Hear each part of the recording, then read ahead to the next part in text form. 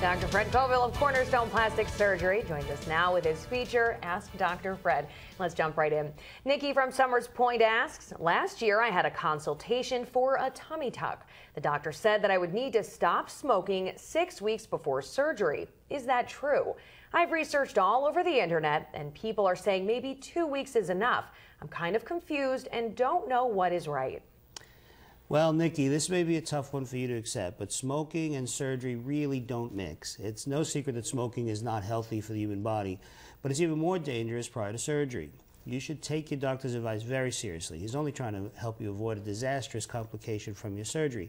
Tobacco smoke contains all sorts of toxins that decrease blood flow in the, in the vessels that are carrying oxygen, nutrients, and even antibiotics to your healing tissues.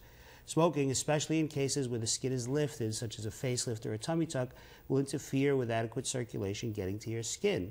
That skin that is lifted may actually turn black, slough off, or even die.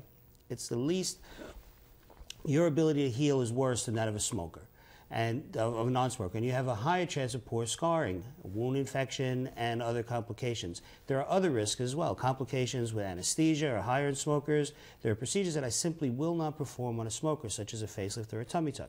Six weeks of no smoking is my minimum as well. More is better. And that means no nicotine, not even nicotine gum or patches. Sure, there are plenty of times when all surgeons will have to operate on patients who smoke, but those are almost always surgeries that are medically necessary. They can't wait not for an elective procedure such as cosmetic surgery.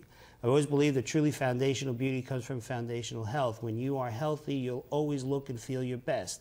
This is not just about plastic surgery. This is about every aspect of your life. If I was going to have knee surgery, don't you think I'd heal better and faster and stronger and have a better result if I was healthier? Of course I would. The same is true for how you live your life. Smoking is simply bad for your health. If you're a smoker, do yourself the biggest favor you could ever do for your family, friends, or grandchildren. Do it for yourself. Find a way to stop and ask your doctor for help if you need it. Have a great day and see you next week. All right. Thanks, Dr. Fred.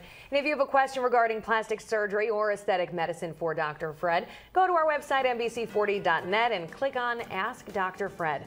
Dr. Fred will answer your questions right here on Today in South Jersey every Wednesday morning.